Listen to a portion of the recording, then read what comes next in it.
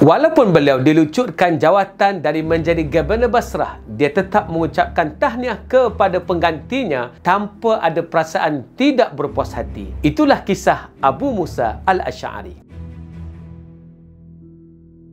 Assalamualaikum. Infaklah pada hari Jumaat dengan link di bawah. Terima kasih. Donald Trump tidak dapat menerima kekalahannya pada pilihan raya Presiden Amerika. Begitu banyak pemimpin di dunia ini, kebanyakannya tidak dapat menerima kekalahan dan dilucutkan jawatan. Tetapi kisah Abu Musa ini akan membuka minda kita. Semasa Omar Al-Khattab meninggal dunia, Abu Musa adalah Gubernur Basrah. Namun setelah Osman bin Affan menjadi khalifah, penduduk Basrah mem meminta kepada beliau untuk menggantikan Abu Musa dengan pemimpin lain di Basrah. Ada beberapa perkara yang menyebabkan penduduk Basrah tidak berpuas hati dengan cara pentadbiran Abu Musa. Ini kalau tidak ditangani oleh Osman akan membawa pemberontakan dalaman. Osman bertanya, mereka ingin gantikan dengan siapa? Penduduk Basrah menyatakan boleh siapa saja. Akhirnya Osman menggantikan Abu Musa dengan Abdullah bin Amir. Di sini Abu Musa menunjukkan jiwa besar. Dia sangat berlapang dada, taat kepada permintaan Osman, tidak mempertahankan jawatan itu, tidak membuat gerakan pemberontakan menentang keputusan Osman. Sedikit pun Abu Musa tidak merasa terhina, bahkan dia sanggup untuk meraihkan gubernur yang baru itu. Semasa dapat surat pemberhentiannya, dia pun naik ke atas mimbar dan memuji Abdullah bin Amir yang masa itu hanya berusia 25